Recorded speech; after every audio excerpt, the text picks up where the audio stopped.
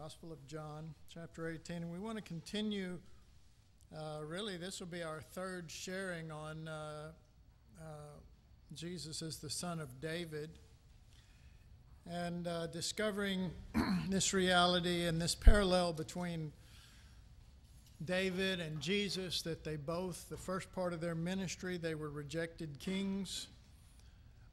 they were king, both of them were already kings, but they were rejected. Uh, they also uh, did not make a big deal out of it. They more or less hid the fact that they were king.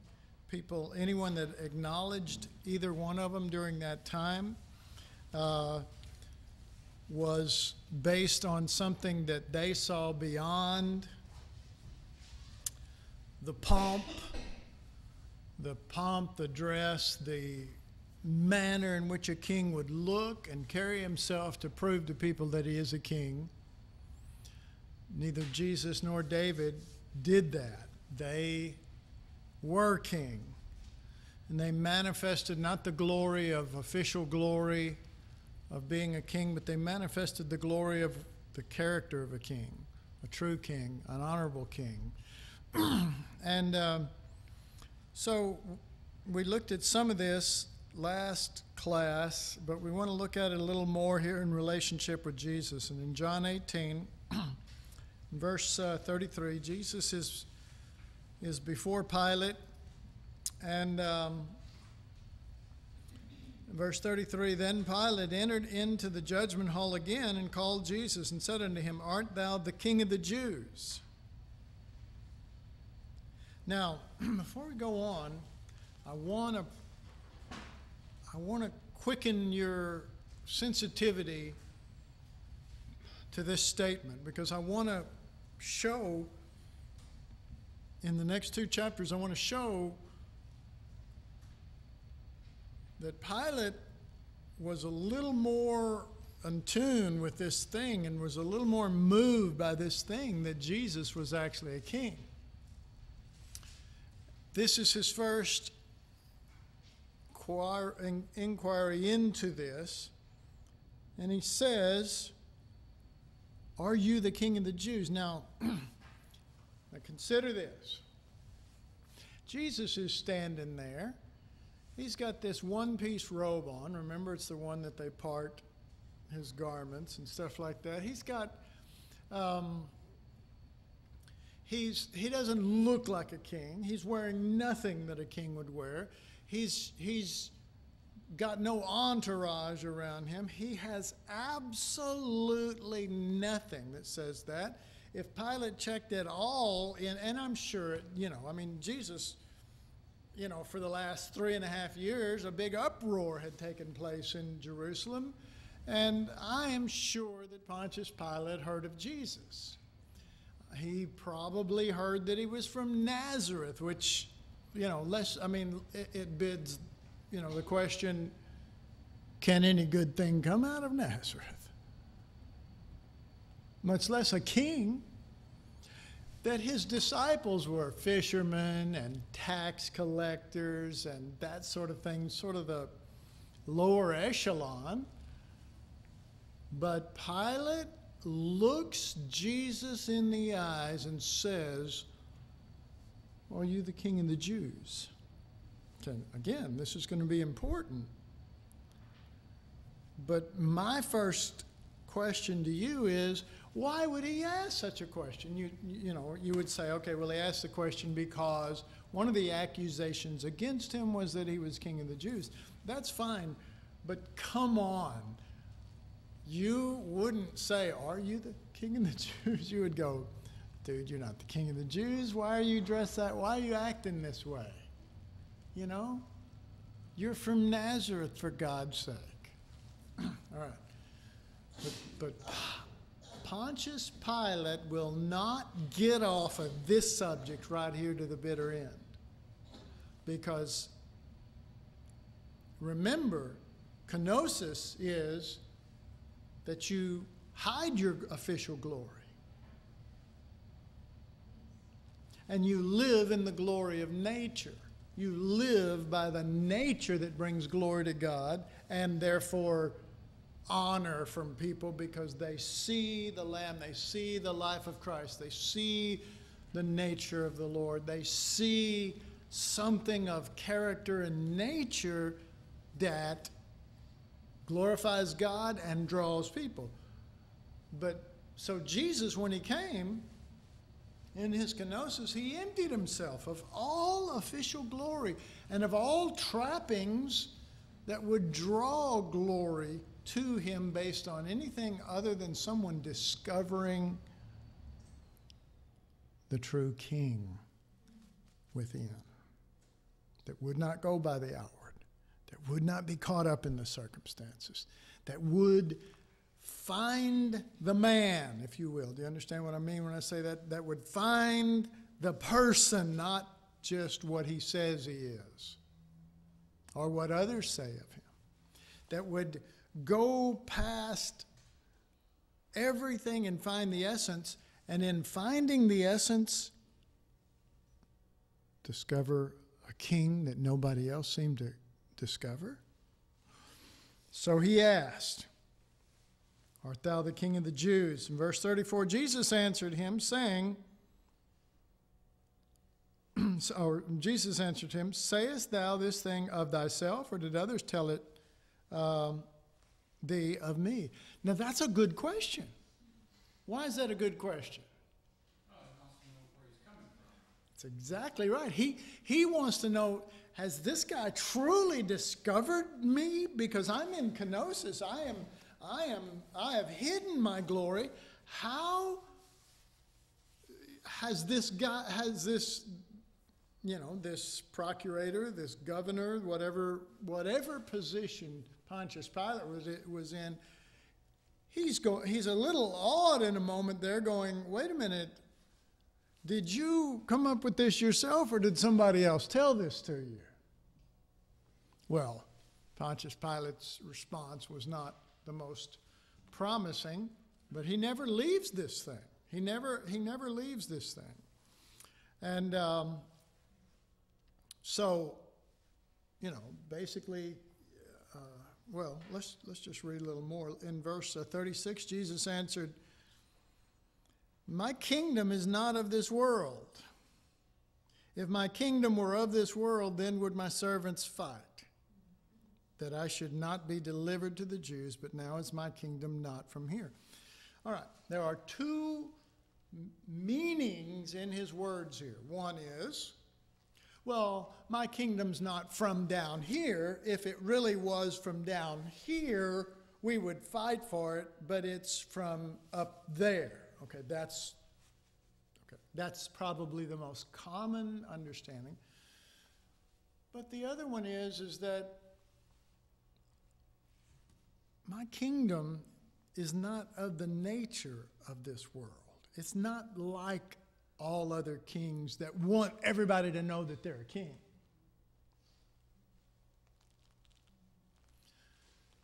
That is, that is all about governing people, all about taxing people, all about the honor of man, all of it is about that. It's about prestige and power and pride and that's the only the three P's I could think of. And and uh, Jesus may also be saying, My kingdom is not of this realm. It's not like this. It's not out from it. My source is not this, and the character and spirit behind it is not of this. Um, because if we were like that, we would fight for it. Does that make sense? Well, that doesn't sound like the lamb. That doesn't sound like the king on the throne, which is who? Lamb on the throne. Lamb on the throne. King on the throne. Who, who had their hand up? Yes.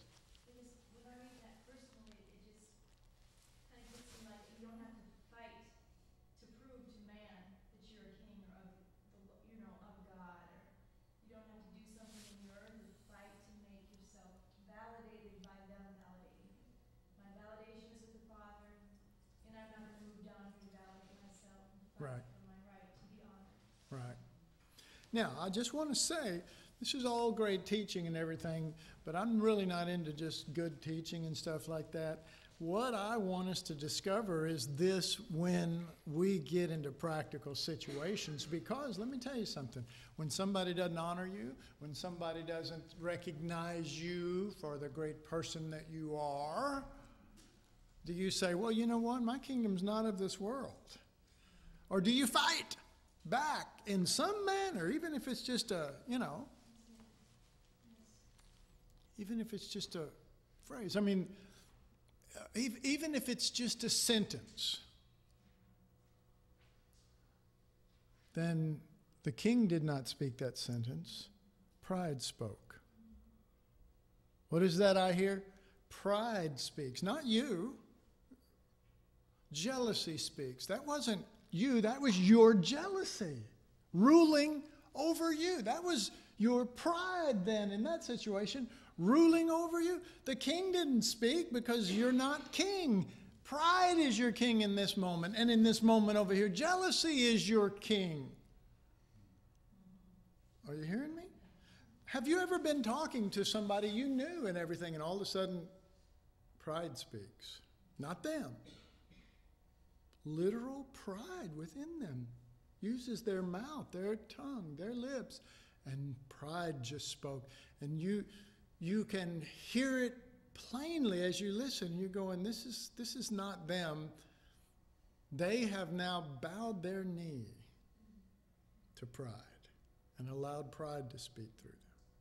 They have at this moment bowed their knee to jealousy and allowed jealousy to speak through them. Jealousy speaks, not the king. Jealousy speaks, not the person. Okay? That's important because that's a fact. That's a real thing. That what I just described right there is not a fairy tale. That is proof of are you a king? Are, is Christ king in you?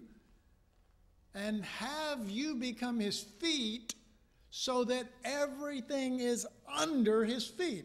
Pride, jealousy, all that? Or does when it rules, it just doesn't take its rule at every given moment, but when it wants to, it steps up to the throne, sits down, takes over for as long as it wants to, and you say yes, sir, and no, sir to it. You getting my point? So, um, so Jesus says, "My my kingdom." You know, he didn't say I'm a king. because that would be declaring himself on an official manner. And right now he's in kenosis. But he is a king. So he says, My kingdom. It's not of this world because if it was, and if we were like everyone else on this earth, we would fight for it. To be known, to be honored, to get some kind of glory, to, to, to avenge ourselves of the lack of glory the lack of honor that we should have received because we did this and this is what you give back in return. You don't fight for that. You fight for the right to lay down your life. And how many people, honestly, that you know of, anywhere, fights for the right to lay down their life, fights for the right to lay down their life so that the Father will be glorified by the nature. Will be the glory of nature that is like sweet incense rising to the Father. Or it's us teaching and preaching and talking about this and making a big deal out of it only to find that when we get into the crisis, something else is king, some other attribute will rise and demand its say. Even, even, if, even if it only says one sentence and then goes back down. You see what I'm saying? All right. So, um, Jesus ends that verse with, But now is my kingdom not from here. So, standing before Pilate is a king standing before Saul in the cave was a king. Amen? David stood there and he was king, not Saul. And, and David did not, and listen carefully to this David did not kill the usurper king so that he could be king. He was already king and proved it by not killing him, by not fighting for it. It's funny, but you know, all this battling between David and Saul really wasn't a lot of battling between David and Saul. It was primarily Saul. David wasn't fighting for the kingdom, wasn't fighting for the throne, wasn't fighting for Jerusalem, wasn't fighting for even Hebron or, or Judah. He was fighting for his life, as it were. But Saul was the pursuer at every given moment. Saul was the pursuer.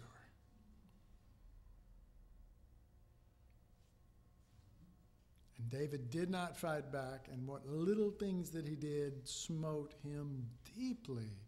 Why? Why should never have done that? He's the king. There's something greater. There's a greater king in David's life. The kingdom is the government of Christ within him, and when he violated it, even on a small level, it smote his conscience, and he could not move forward from there and said, Oh God, forgive me. You know, folks, I have you know, there's that parable Jesus told of the two sons, and the father comes to one son and says, Son, come work with me in my field.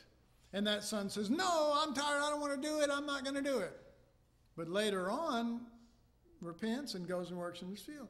So the father goes to the other son, says, Son, come work in my field. And he says, Okay, yes, sir, I'll be right there, and never goes. And Jesus said, Which one do you think was a true son?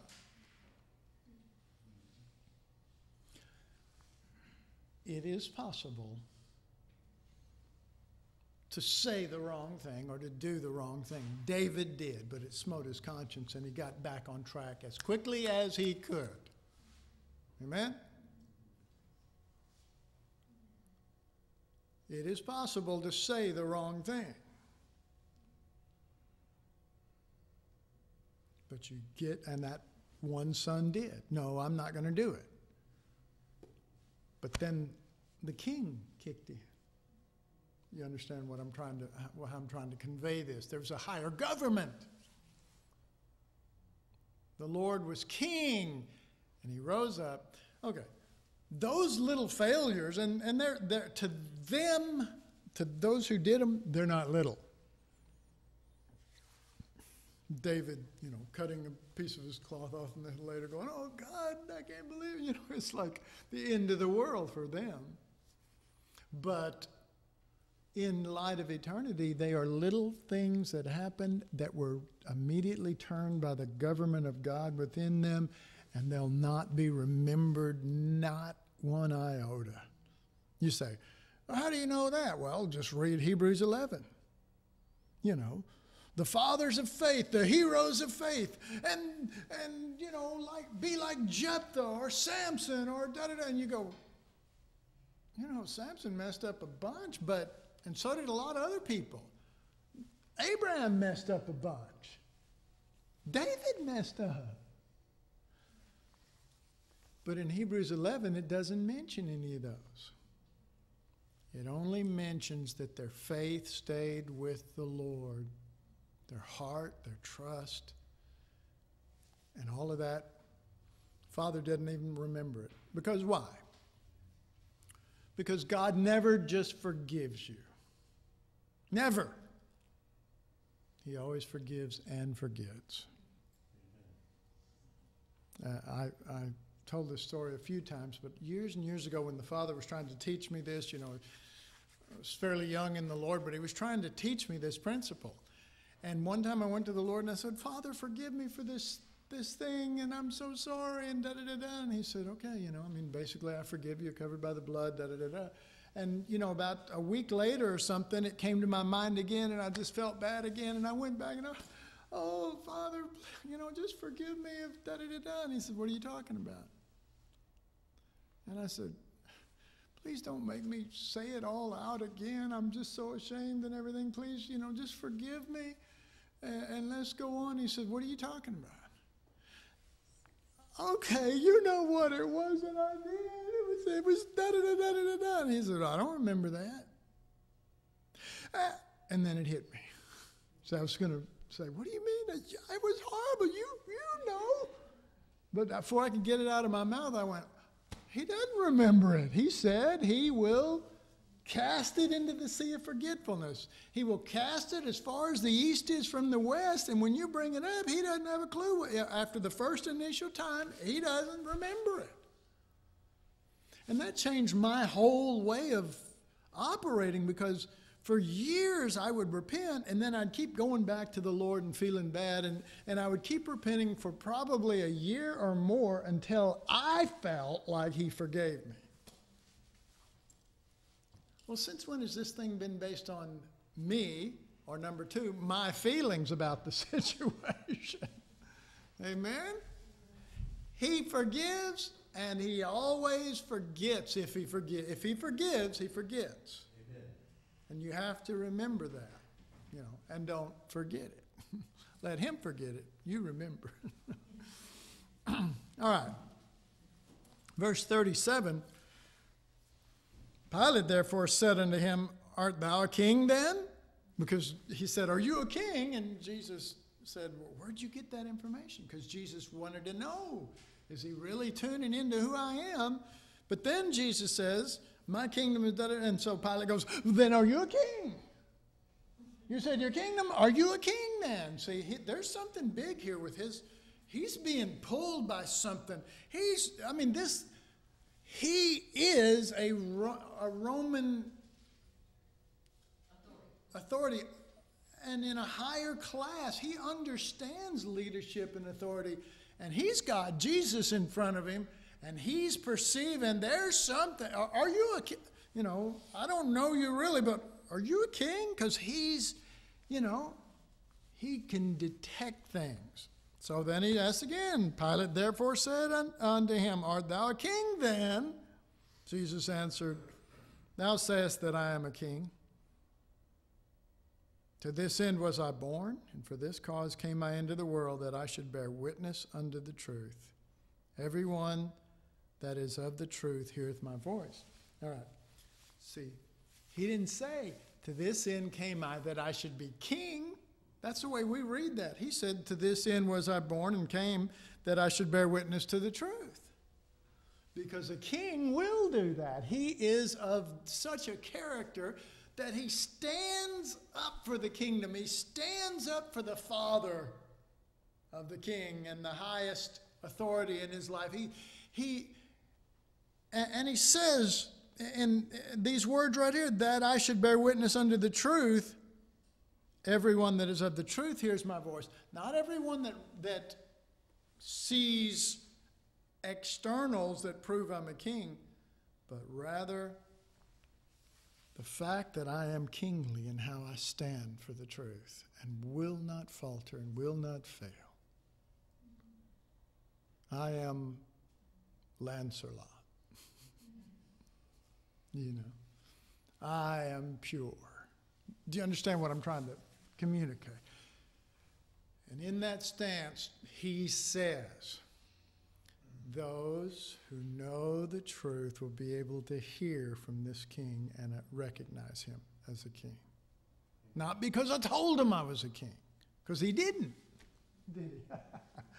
because it can't be by words uh, and, and trying to it can't be by trying to convince people of something. You, you know, I mean, that's the way the world operates. But if they can't see the king, there's no need trying to convince them of anything. No need at all. Don't waste your time. Just go right on being kingly by letting the king live through you. All right. So everyone that is of the truth heareth my voice. But Pilate says, Pilate saith unto him, what is truth? When he had said this, he went out again unto the Jews and saith unto them, I find in him no fault at all. I mean, this guy is, now he is, this is the beginning of getting under this thing. Because he is perceiving something about this man. And he is perceiving because the, the veil is over the Holy of Holies, and yet he feels that there's something behind there. Do you understand what I'm saying? He feels like, you know, it's, there's something behind there, and it's powerful, and it's glorious, and it's kingly, but he's not showing it to me. Have you ever read these scriptures and ever thought in your own mind, why won't Jesus just say it? Anybody? I certainly have. I read that over and I go, God, Jesus, just tell him. You're making this so hard. Just say, Pilate, I'm it. I'm the Son of God. I'm the King of Kings. You kill me, you'll burn in hell forever. I mean, that was when my early days, that was, you know, well, isn't that kind of what we do to people? Jesus is the King of Kings. He's the Lord of Lords. And you don't accept it, you'll burn in hell forever. You know. And they never, ever truly know the King by essence, and they never perceive him for themselves. They just run from hell. They just run in fear to the guy that you said was king. See? But I would rather people to know him for themselves and to truly, truly perceive him. So, um, Pilate goes out to the people after that little tete a tete with Jesus and says, I find in him no fault at all. Okay? Then verse 39, but you but you have a custom that I should release unto uh, you one at the Passover. Will you therefore that I release unto you the king of the Jews? Are you getting it? He is genuine. He see, he didn't say the guy that you charged or Jesus of Nazareth or whatever.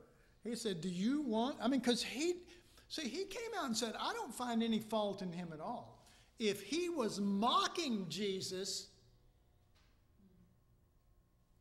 he would come out and say, Well, I found just basically only one fault. He thinks he's the king of Jews, but you see what I'm saying? So, I mean, you could, you could read this by thinking that he's saying, Do you want me to deliver unto you the king of the Jews by sort of mocking him? But I don't think there's a mockery at all in the fact that he said, I find no fault in him. Would you rather me release unto you the king of the Jews? That's his statement. Jesus said, You say that I am. That's his own statement. And it's his statement to the people. And, and he went out there with the intention of number one, telling him that I can't find any fault in him. Number two, I'm telling you, is the king of the Jews. And actually, number three, I want to try to release him. Okay? So, of course, uh, verse 40 then cried they all again, saying, Not this man, but Barabbas. Now, Barabbas was a robber, and Jesus was a king. But he was a veiled king. He was a king in kenosis. How many of you are kings in kenosis? The Bible says you're priests and kings. How many of you are kings in kenosis? He was a king in kenosis. And Barabbas was a robber, and they made their decision based on what? They didn't, they, all they perceived from Jesus was a threat. He's threatening something in my life. Now, Jesus didn't threaten anything, you know, but that's the way they perceived it. So, you know, uh, Barabbas, you know, if you're one of the Pharisees, you're thinking Barabbas is going to have to rob a whole lot of houses before he gets to mine. So this could be years from now, but Jesus is a threat right now. Barabbas is a threat to my possessions, but Jesus is a threat to my prestige and my position and my pride and the honor that I get. Jesus is a threat to my official glory.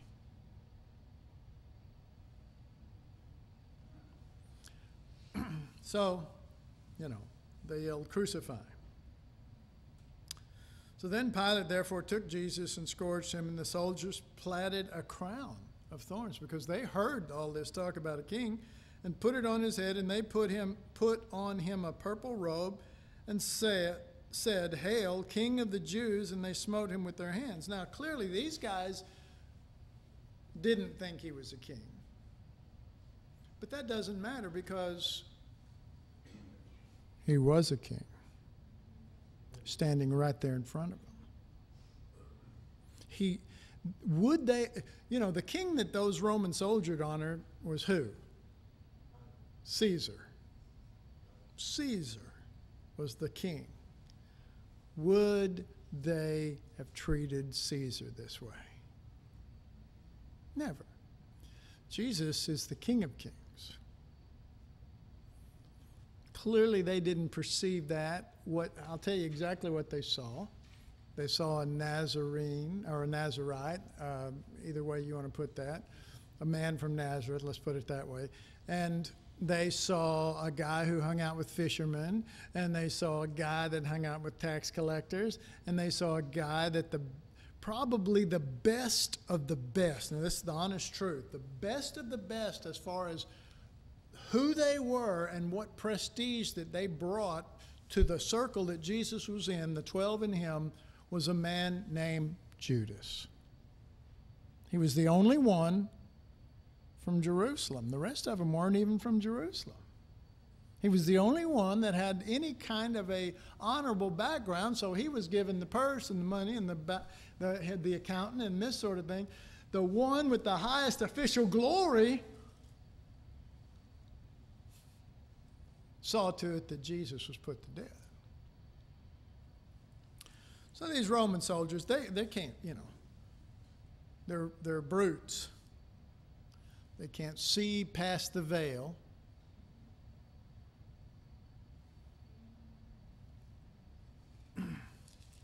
so let's see. Now, all that said, and notice how often this thing, King of the Jews, keeps coming up. Okay? Now, same chapter. Let's go on down to verse 19. This is where they, well, verse, uh, let's start at uh, 17. And he, bearing his cross, went forth into a place called the place of the skull, which is called in the Hebrew Golgotha, where they crucified him and two others with him on either side, one, and Jesus in the, in the center, in the midst. And Pilate wrote a title and put it on the cross and the writing was Jesus of Nazareth, the King of the Jews.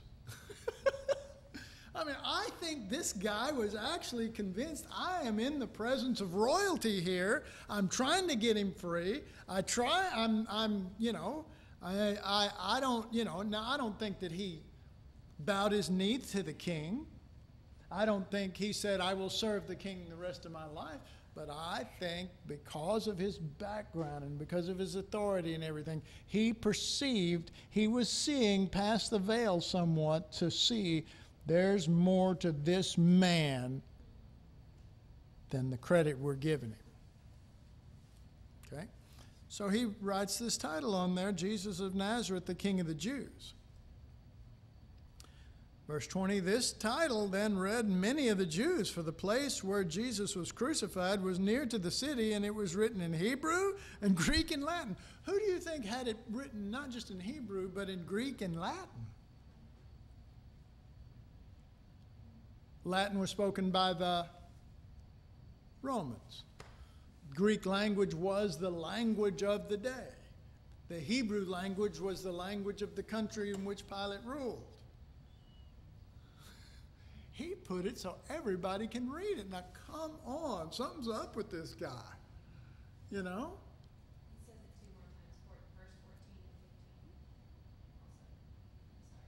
No, no. Okay. Yes. Uh, well, let's go ahead and read that. Um, Jennifer mentioned verse 14 and 15. And it was the preparation of the Passover, and about the sixth hour, and he saith unto the Jews, Behold your king. But they cried, they cried out, Away with him, away with him, crucify him. Pilate said unto them, Shall I crucify your king? The chief priests answered, We have no king but Caesar. Now, That's just a lie. I mean, it is amazing what lengths people will go to to make sure that Jesus gets no official glory at all. They didn't honor Caesar as their king, they hated the Romans. Not only that, Caesar didn't just declare himself to be a king, he declared himself to be God. Okay. So there is no self respecting Jew going to say, We have no king but Caesar. But they're trying to put the fear of Caesar in Pilate to get him to do this thing. And he's saying, you know, Pilate's the one who should have said, we need to crucify. I find fault in him. We need to crucify this guy. He thinks he's a king, and I'm a Roman, and Caesar's the only king. Now, that's the way a true Roman would speak. But he's, trying, he's going, Look, this is your king.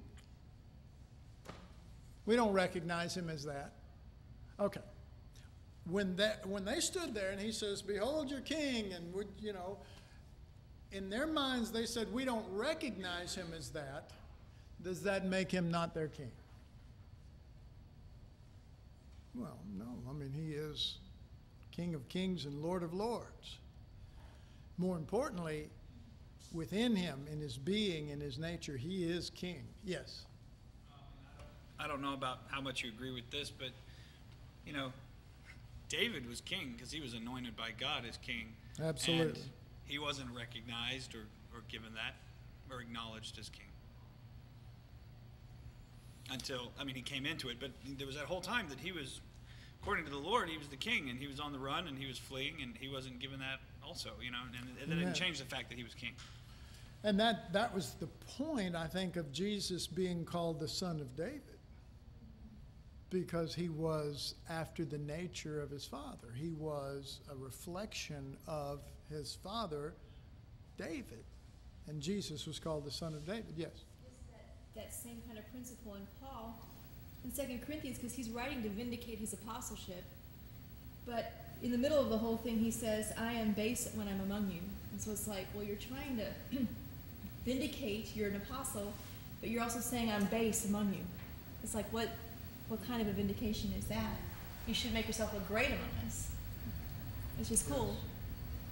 All right, let's go on back to uh, verse 19. And Pilate wrote a title and put it on the cross.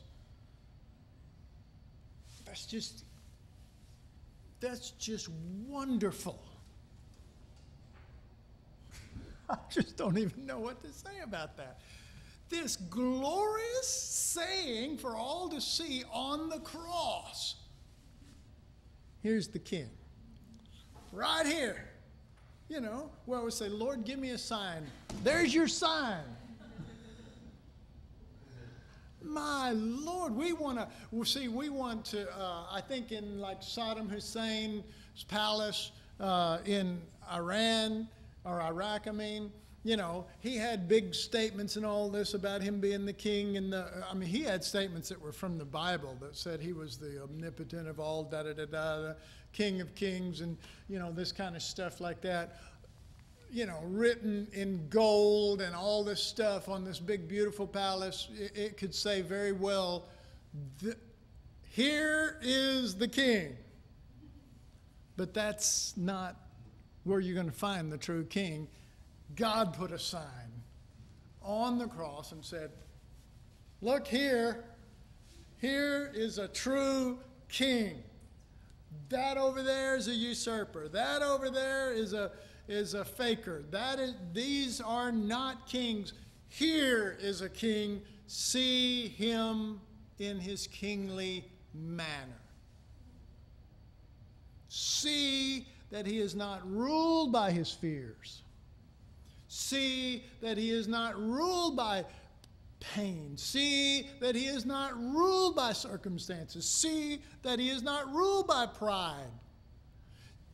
You know, don't you think that there was a lot of people that respected Jesus that that had thought highly of him for healing him, them or feeding them or something that Jesus is looking out and go, you know, if he if if it was us, we'd be thinking, What are those people thinking of me now? You know? What do they think now when I'm strung up here? Well, don't worry, God's got a sign. Here's the king. there he is right there. Don't worry, keep your eyes on him. That's the one. Okay, but look what happens next. Verse 20, this title then read, okay, we, we read that about many people. And so he, he, you know, Pilate wasn't playing at this. He put it in every big language he could get it so everybody could read the signs. Okay, verse 21. Then said the chief priests of the Jews to Pilate, Write not the king of the Jews, but he said, I am the king of the Jews. Isn't that just perfect? That's, see, by saying just, here's, you know, here's the king of the Jews, then people passing by might go, My God, there's the king of the Jews, you know, or something like that. But if you, he said he was, that's an accusation.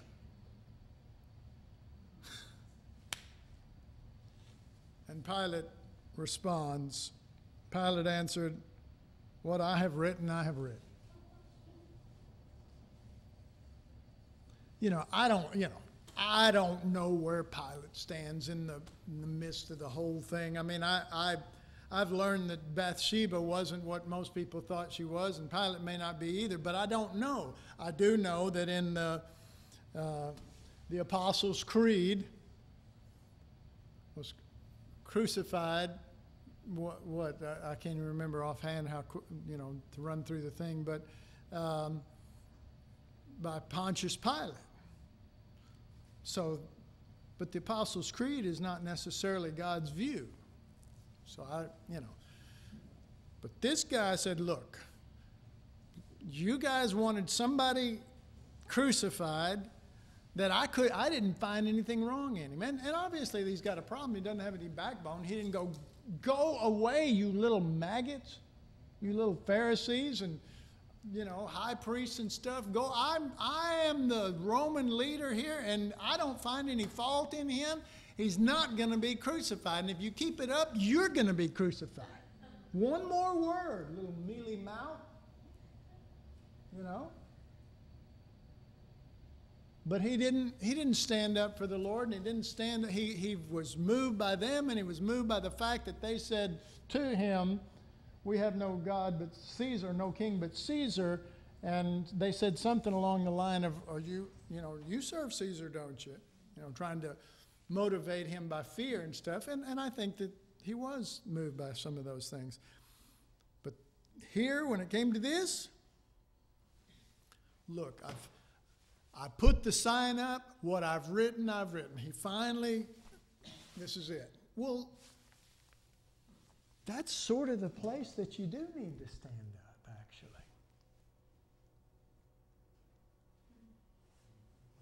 You don't need to stand up for him to keep him from being crucified, which, you know, Peter tried to do. He's the Lamb of God, he's the king that lays down his life. You don't stop that, that must take place. But when it comes from removing the sign, from the reality that at the cross you'll find your king, it's time to stand up. No, that is the king, and you need to know it. You know. I remember when I was sharing in Holland and remembered the scripture that, the, that when Jesus was hanging on the cross, that the Pharisees and people standing around mocking said, He saved others, Himself He cannot save. And it hit me like a ton of bricks. I, it was like, God, you are so incredible that you would have the heathen actually say the most powerful statement at the cross that he that is busy about saving others cannot be busy about saving himself. And once you start getting busy about saving yourself, you're probably not going to be busy about saving others. And that's just a fact. I mean, I just saw it clean as this, this beautiful megaphone horn, just with those words coming out and declaring the greatest truth. Glory to God, he saved others, so he cannot waste time trying to save himself.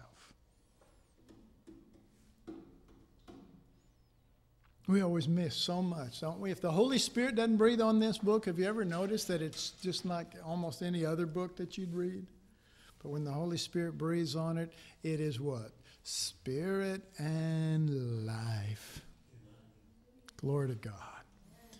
Well, let's see. I've, I've, out of my notes, you'll be glad to know so far I have said nine words. And we cannot continue to do this. But these things are important, amen. I mean, this is this is incredible stuff. So let me read a little bit so I can get past some of this. Um, when, Jesus, when he said, Are you a king? And he said, You say that I am. He was not seeking to distinguish himself by power displays, but would, but would we see him as he is? Would we really see him as he is? Or does he have to do a power display? And remember, Pilate wasn't the only one he stood before. Who else did he stand before and was being judged? Yes, Caiaphas. Who else? Somebody higher. Somebody that actually was considered king. Herod. Herod. He brought him to Herod, and you know what Herod said? Turn this water into wine. Do, do some trick. Show me that you're the king. Show me that you're really it. If you'll do it, then I'll believe. That's what he said, that kind of stuff. Jesus didn't do anything. He was not seeking, uh, he was not seeking to distinguish himself by power displays, but would we see him as he is? And since Herod didn't, he sent him back to Pilate and said, You handle this. and Jesus marveled that anyone saw the true depth of who he was, for he veiled that. And so Let's go. We, we were talking about these scriptures not just a couple of paragraphs back. So let's turn to Matthew 16.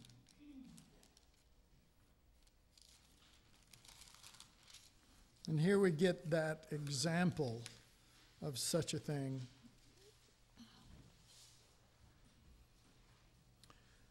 Matthew 16 and verse 13. When Jesus came into the borders of Caesarea Philippi, he asked his disciples, saying, Who do men say that I, the Son of Man, am? Notice, he's still calling himself the Son of Man. That means he's veiled. That's the kenosis. That is, he could have said, Who do people say I, the kenosis man, am? It's the same thing. and they said, some say that thou art John the Baptist, some Elijah, others Jeremiah, or one of the prophets. He saith then, he saith unto them, But who say ye that I am? And Simon Peter answered and said, Thou art the Christ, the Son of the living God. And Jesus answered and said unto him, Blessed art thou, Simon Barjona, for flesh and blood hath not revealed it unto thee, but my Father who is in heaven. And so he, Jesus is like, and the, and the words that I wrote here was he marveled that anyone saw the true depth of who he was because it had been veiled. He was not doing things outwardly to draw attention to that so that if anybody caught it, and remember, you say, well, he did miracles and this and that. After we finish this thing, whenever that takes place, and move to that next section, we will deal with the miracles and show you in light of the truth how they didn't testify of deity. But that's another, that's another thing. Um, but clearly, Jesus was moved by the fact that something had been revealed. What does the word revealed mean? What's another word for that? Unveiled. Aha. So we're talking about what's behind the veil. What's in the Holy of Holies is veiled. And as long as that flesh is there, Uh, but when that flesh is rent, when he's crucified, and then we will see what's on the inside of him. And so Jesus is already alluding to that now, and he's saying, flesh and blood cannot open the veil, but my Father seems to have slid back the veil because I didn't. I'm a kenosis one. And do you sort of get the idea Jesus is a little excited here? Blessed art thou, Simon Barjona. I mean, come on. How many times do you hear Jesus getting carried away? Almost none. You know? But this was exciting because somebody has seen beyond the pale, beyond the veil. Yes. That was so good. I just want to say that. That the Father of him he did not do that i just thank god for that right there thank you father So then, then verse, uh, well, maybe I should just go ahead and allude to some of this here. Um, verse 18, and I say unto thee, Thou art Peter, and upon this rock I will build my church, and the gates of hell shall not prevail against it. Okay, so he's he's not saying that I will build my church and the gates of hell will not prevail against Peter because Jesus later on had to pray for Peter, you know, just like he's praying for you. He's going to build his church on what? The revelation of Christ. Well, it says it right there. Doesn't it? Am I making this up? Am I twisting this? If I am, you people need to tell me. I know that you did, son, and, and uh, Satan hath desired thee to sift thee. and so the gates of hell, they, you know, folks, the gates of hell, this isn't the gates of Zion that won't cave in. This isn't us huddled around this in this little thing and the, the hordes of Satan are banging against the gates and we're going, don't worry, they will not prevail. This is the gates of hell and we're beating on them with Christ and Him crucified, with the revelation of Christ. And they're not going to hold us back. You say, but it seems like they are. No, it doesn't seem like it either. Oh, in the natural, yeah, if you live out, you know what? If you live out here, you're probably confused. But if you live in the truth, you know that this reality of Christ in Him crucified is like a, a great, uh, uh, you know, battering ram. Boom, boom, boom. And, and people in the world are deceived, or Christians are deceived, even thinking, you know, look at that poor little group. The devil's got them surrounded and beating the fool out of them. There's a certain, there's an angle of truth you can come at with that. There is. It's okay. There is an angle of truth you can come at. But there is the greater truth that with every dying, there is the power of resurrection that is banging against those gates and that will, will fall. In my lifetime, maybe not. In your lifetime, maybe not. But in the name of Jesus, yes. And that's just a fact. And I believe that. And that's what keeps me going. I don't live in the outward world. I live in the Word of God. I live in Him. And in Him I move. And in Him is my being. My being is not understood by outward things. And neither is yours. And so Jesus says, And I will give unto thee the keys of the kingdom of heaven, and whatsoever thou shalt bind on earth. I'd like to get into all this, but this is it's going to get off from my, my thing right now. So let's drop on down uh, to verse 21. From that time forth began Jesus to show unto his disciples how he must go to Jerusalem and suffer many things from the elders and chief priests and scribes and be killed. Wait a minute, I'm confused now. Didn't he just start rejoicing and going, This is it, baby? The revelation of Christ is the thing that'll build the church. It's the thing that'll take the walls of uh, the gates of hell down. and it, they will not prevail. And then from that time forth began Jesus to talk to his disciples about the fact he's going to have to go to Jerusalem. They're going to kill him, and everybody's going to turn against him, and he's going to die. Why? Why? Because he's a kenosis man. He is a man in kenosis. Because he is not looking for official glory now.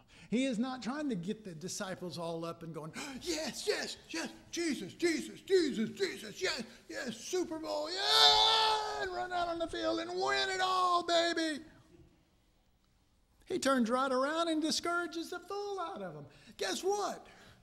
We're right on. We're right on with the truth. We've got the battering ramp of God, and I'm going to go to Jerusalem and die and get a, you know. I'm going to give my I'm going to I am going to show forth the glory of nature, not the official glory of who I am. Yeah, and the disciples are supposed to go, This is our kingdom. It's a hidden kingdom. We love it. We're with you. We'll die too. And they did, by the way. You know, they got it. Yes. Oh, four minutes. All right, maybe I should. Uh, I'm getting a little excited here. Maybe I should. Uh, we'll come back and we'll look at, at some of this stuff that Jesus says in Peter's response in the next class. Take a break.